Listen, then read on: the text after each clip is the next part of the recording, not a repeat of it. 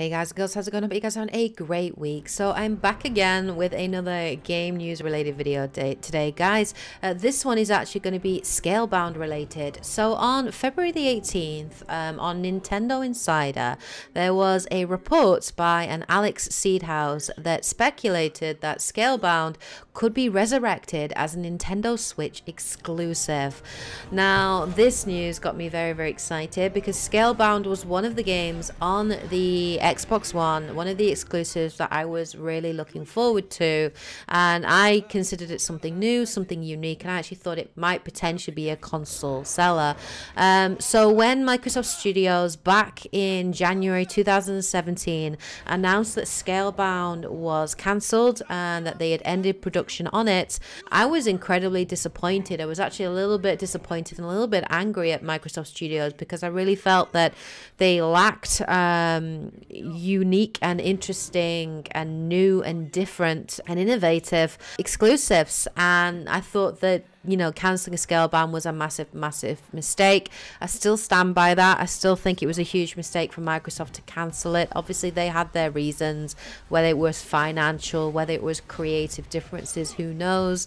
Uh, we'll never know, but definitely I thought it was a mistake. And I still think that Microsoft lack the exclusive titles that they need. Um, of course, they have the most powerful console out there. Absolutely, they do. The, without a question, without a doubt, um, the Xbox One X is the most powerful console out there.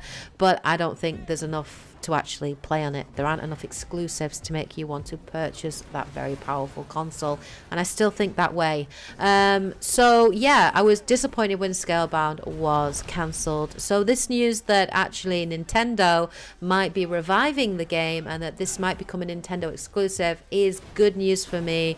I was very interested in this game and I was super interested to see where it was going to go. Of course, this is based on Alex Alex's sources in Nintendo, so he is saying he, he trusts his sources uh, that have reported this to him. And there have been a couple of hints out there as well that there might be something to this news um, because Game Informer senior editor Imran Khan uh, basically hinted that Nintendo have a game that's thought to be dead that they are reviving. And he hinted at this on Kind of Funny Games uh, beginning of um, February. So, of course, he might have a different game in mind. It might be something completely different, but it's very coincidental, the timing. And I think um, maybe it stands a good stead that it could be Scalebound. Now, of course, Scalebound is developed by Platinum Games and it has creator Hideki Kamiya uh, uh, leading the helm or was leading the helm.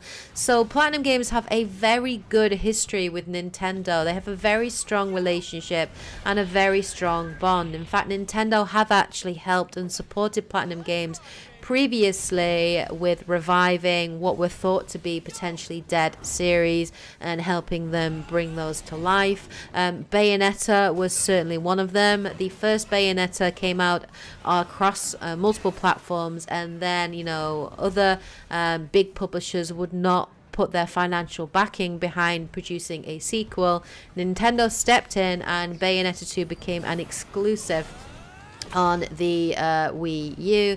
And then, of course, um, it also came, both Bayonetta 1 and Bayonetta 2 came to the Nintendo Switch and did very well. And of course, we're going to have Bayonetta 3 and also Astral Chain, uh, which are going to be exclusives for the Nintendo Switch as well, which are going to be coming. So, this news is not entirely uh, unrealistic or entirely out there. There is definitely a precedent for Nintendo stepping in and supporting Platinum Games.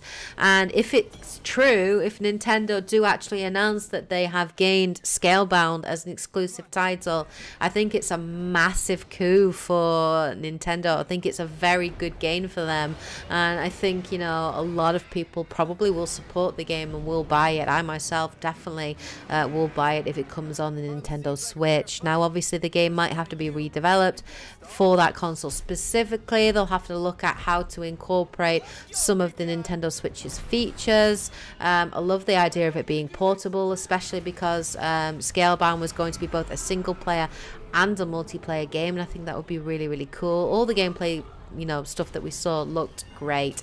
Um, but yeah, obviously it'll have to be scaled back a little bit um, in terms of resolution and and uh, power and that kind of thing because the Nintendo Switch, you know, it isn't as powerful a console as the Xbox One X, as the PlayStation 4 Pro, um, or the PS4 or the Xbox One. Of course, it's not, but it's still a very good console in its own right.